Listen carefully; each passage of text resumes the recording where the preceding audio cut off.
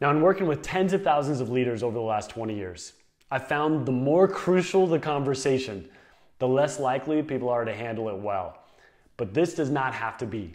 Now, there's an art and a science to having effective conversations and to provide effective and helpful correction that's well received. Okay, now the temptation will be to not address challenging conversations that, that really we need to have. And the temptation will be to shy away from them or bury them under a rug.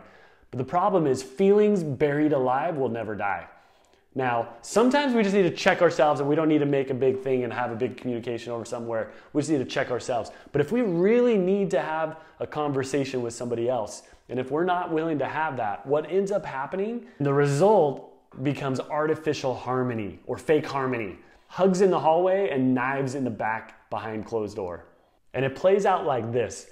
Hi Amber, oh my goodness, so good to see you. Hope you're having a great day. Oh yeah, you're the best. And then behind closed doors, Amber is so lame, so annoying. And these are like termites that destroy a team culture. And the sad thing is, this is super common in organizations. But I've found in the highest performing teams, there's less of it. And team members are willing and skilled to have hard or fierce conversations with each other to just flush out the drama and focus on the result.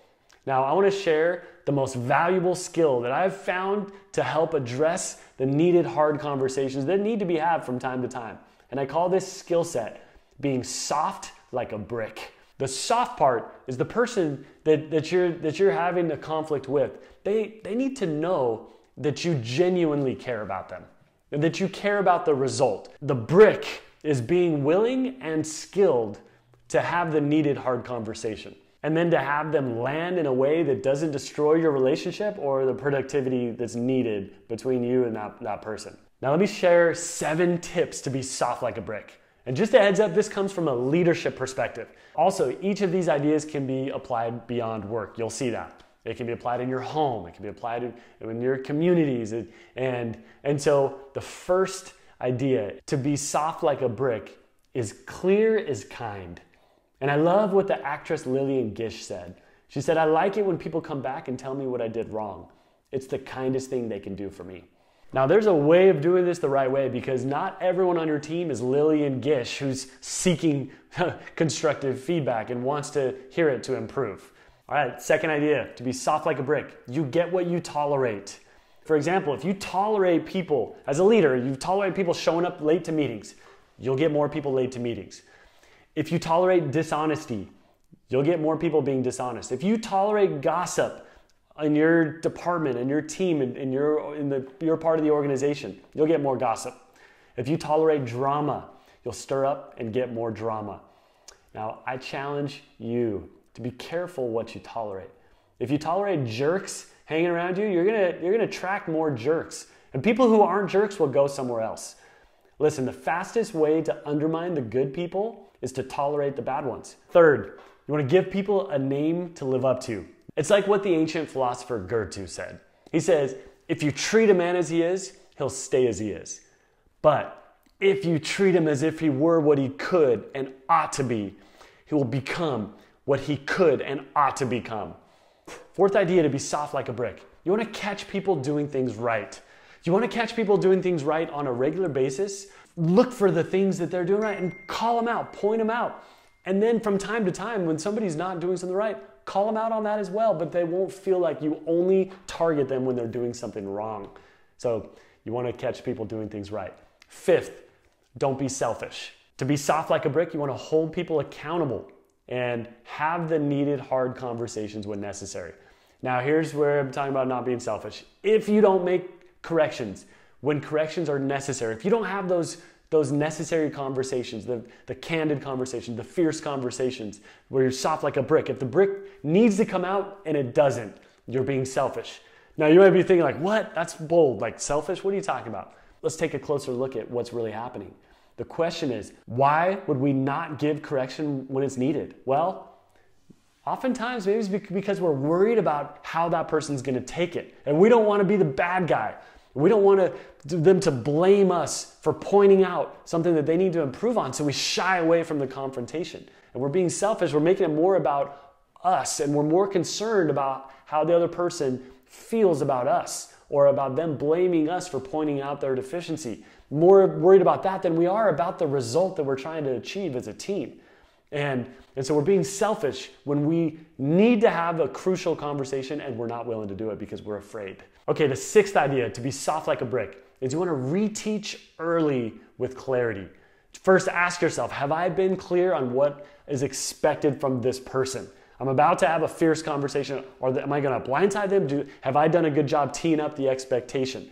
If you have not been clear, don't go straight into that hard conversation. Instead, revert to to go back and be like, okay, how can I clarify expectations? How can I teach them what's needed? How can I share with them the expectation? How can I share how what they're doing is impacting me? And start with a conversation before going straight into bulldozing and, and, having the brick come out? Do they know what's expected that they're not living up to? Just maybe check yourself on that first.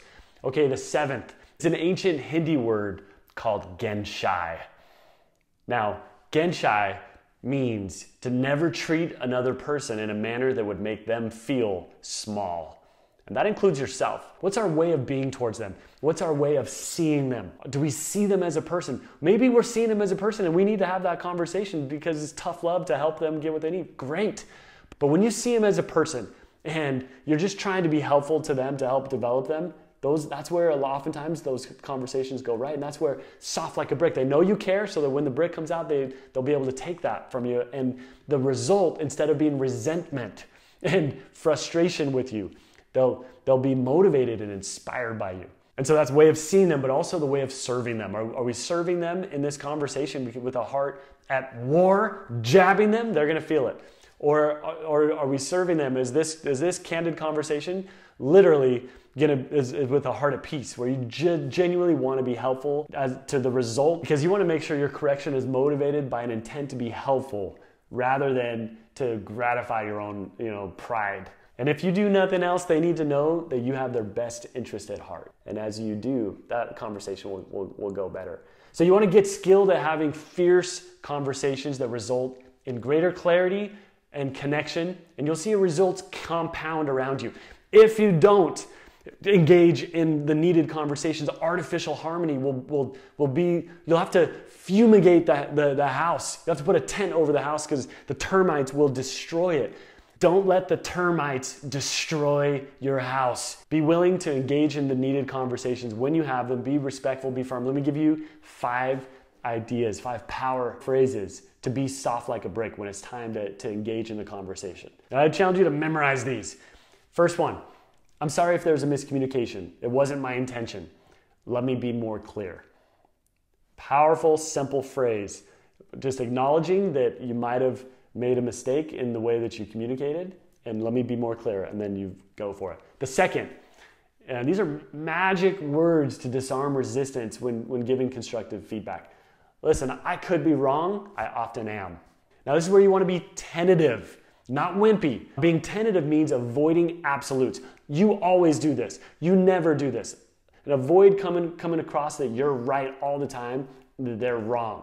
Being tentative is disarming. It opens a dialogue that feels less like an accusation or an absolute and more of a potential way to improve. Okay, third, the golden question. This is magic. Do I have your permission to challenge you? Now, use this tool if you need to have a challenging conversation with a little bit of tough love. Now, listen, if they know that you care about them, when you ask the golden question, they'll probably tell you to go ahead. And, and once they do, they've now given you permission and their guard comes down a bit to be more receptive to what you're going to say to them. This is a highly effective question before offering someone critical feedback or correction, and that's why it's called the golden question. Okay, the fourth power phrase I commit to not underlead you. Now, I'm trying to do my best to serve you, and I commit to not underlead you. And then you go into your conversation. I mean, that's the spirit of soft like a brick. Soft, I know you care. Brick, being willing and skilled to have that conversation. All right, fifth power phrase I care about you too much to leave you where you're at. This is how you balance care with candor. Remember, pleasing people is not leading people. And I challenge you literally to memorize these five power phrases to help you be soft like a brick, to have effective, fierce conversations.